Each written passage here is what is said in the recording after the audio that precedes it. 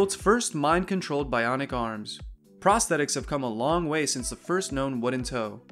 All thanks to new research and technologies such as robotics, brain computer interfaces, and 3D printing that have the potential to change lives across the globe. People's attitudes towards it has changed massively, and now it is considered a symbol of empowerment. In this video, we will take a look at how people with arm amputations can experience sensations of touch in a mind-controlled arm prosthesis that is helping them to do their everyday life tasks. Make sure to watch the video until the end, as we will also discuss how the public's attitude has changed towards the bionic arms as we see it become more popular and more inclusive than ever. Two years ago, Melissa Loomis heard two dogs barking and scuffing. She found her pets in a fight with a raccoon and ran to save them. A raccoon bit her right forearm, and in 29 days, she went through 13 surgeries and lost her limb due to a septic infection. Her everyday activities became a challenge. Her surgeon suggested that she should visit John Hopkins Applied Physics Laboratory to test a mind-controlled prosthetic robotic arm. And now, she's one of the world's first amputees to regain the sense of touch because of this new advancement in the field of prosthetics. Like Melissa, many people lose their limbs due to many reasons like military combats, automobile accidents, illness, or even some are born without limbs. Approximately 2.1 million people are living with limb loss in America alone, and this number might get doubled by 2050. This is the reason why researchers are striving to develop lighter, smaller, better controlled, more lifelike, and affordable options.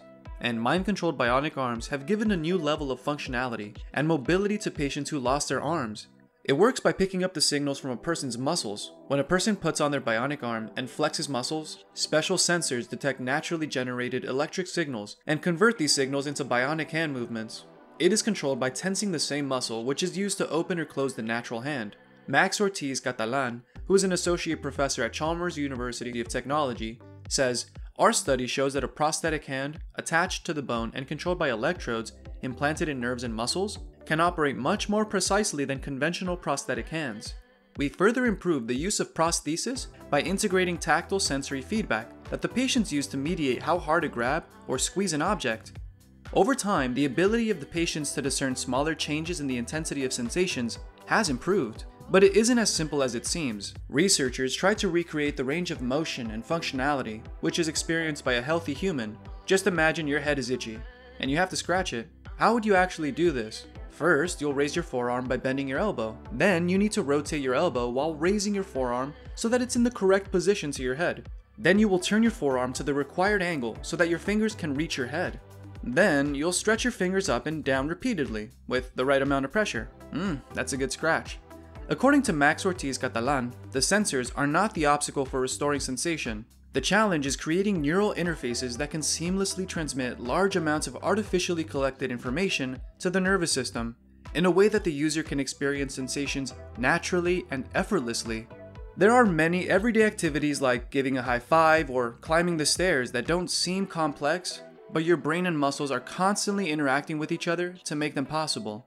To understand this interaction was the main challenge for researchers, as they had to create a bionic arm to do all these things easily and quickly. While the world of bionics now encompasses all parts of the human body, bionic arms are progressing rapidly. They're able to do everything. You can grab or give a high five and even turn the on or off switch with its help. It provides its users a proportional control and multiple grip modes. It will move slowly when your muscles are tensed and quickly when they are firmer.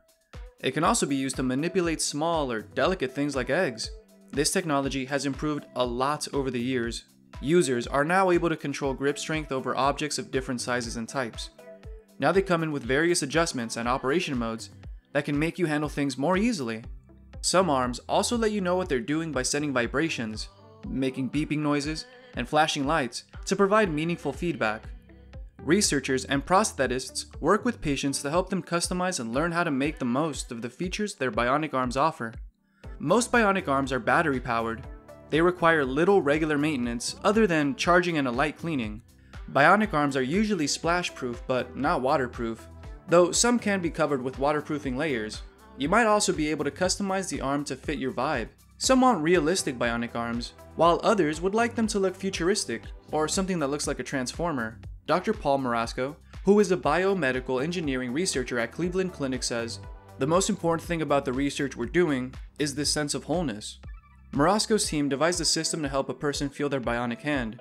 They used small robots to press on the skin of the upper hand where sensory nerves are attached.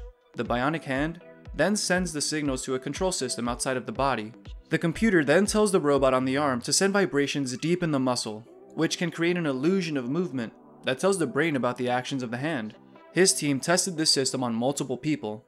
The result showed that users were able to operate their bionic hand and feel its position. With this system, they didn't have to look at their bionic hand to see if it was open or closed. Marasco says, We fool their brains into believing that the prosthesis is actually part of their body. To make bionic limbs feel more natural like a body part, Singapore researchers have developed an electronic skin that is capable of recreating a sense of touch. It will allow people with prosthetic limbs to detect objects, feel texture, temperature, and even pain. This device is known as ACES, which is made up of 100 small sensors and are 1 square centimeter in size. According to researchers, it can process information faster than the human nervous system. The concept was inspired by a scene in Star Wars where the character Luke lost his arm and replaced it with a robotic one. Benjamin Tee, who was the leader of the research team, said, The technology is still in the experimental stage, but there had been tremendous interest, especially from the medical community. Bionic arms are a miracle for many people out there. It has helped Tilly to follow her passion for becoming a makeup artist. She was 15 months old when she was diagnosed with meningococcal strain B. According to doctors, she had zero chance of survival, but she survived, losing her toe tips and hands. Her mother found Open Bionics, where they asked Tilly to try their new 3D printed bionic limbs. They posted Tilly's mother a 3D scanner to scan Tilly's arm. It helped Open Bionics with the research on what amputees need and was fitted with the socket that had been created from the 3D scan. Sensors were attached to Tilly's arm to work out the sensitivity of her muscular movements. There were photos of Tilly walking around Open Bionics, playing with her new bionic arm for the first time, and just having fun with it. It was amazing how easily she could use it after just a few minutes. Tilly is still working with Open Bionics and helping them to develop children's bionic hands.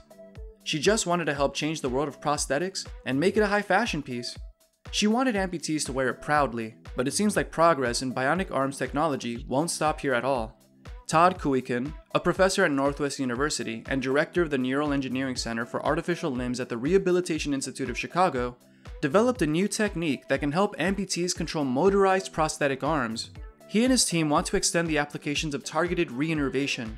In targeted reinnervation, the motor nerves at the chest are usually deactivated. Then the motor nerves at the end of the amputee's arms will be transplanted from the stump to the chest. These nerves will grow in the chest, so after the procedure, when a person thinks about moving a muscle of his amputated arm or hand, this will be detected by the nerves in the chest. Electrodes will pick these signals from the chest and pass them to a motorized prosthetic arm. So, prosthetic arms will function just like our natural arms. Kuiken and his colleagues are currently exploring how to take advantage of sensory reinnervation to build bionic arms with sensors on the fingers that can transfer touch information from the prosthetics to the chest, allowing a patient to feel with their prosthesis. While some researchers are thinking of placing sensors near the control center of the brain, these sensors will detect signals from the brain, which will pass through the body under the skin. It will allow the bionic arm to function according to the brain. According to some researchers, Elon Musk's Neuralink will play a major role in the field of prosthetics. The company is developing a brain implant that directly links the human brain to computers. The company's initial aim is to restore limb movement. It seems like bionic arms will be superior to biological arms in the coming future. So this brings an end to our video. What do you guys think about bionic arms? Do you think they're helpful? What improvements do you think developers should keep in mind while making bionic arms? Do you believe that bionic arms will let their users gain superiority over others in the future? Let us know in the comment section below, as we always love to read your comments. And again, thank you for watching.